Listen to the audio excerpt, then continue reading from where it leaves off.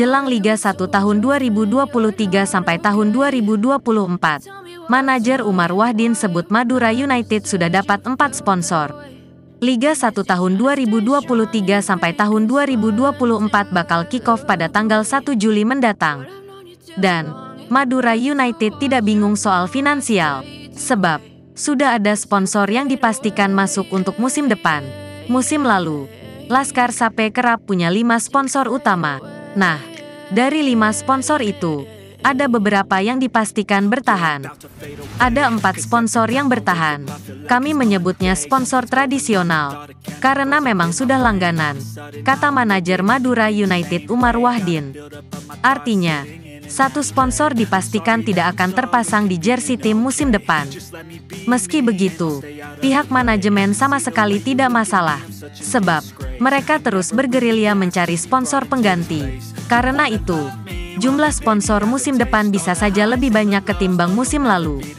Umar tidak turun sendirian dalam mencari sponsor. Anissa Zafarina juga turut bergerilya mencari sponsor anyar.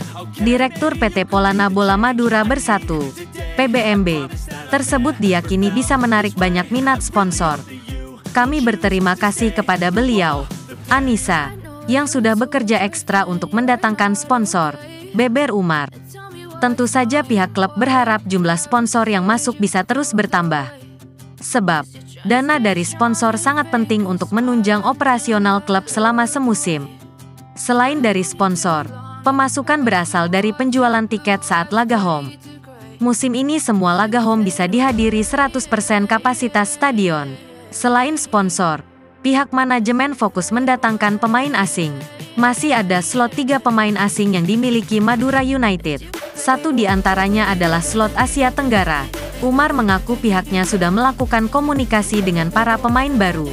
Cuma, mereka belum mau menyebut siapa saja identitas para pemain itu. Yang jelas, pihak manajemen ingin mencari pemain terbaik.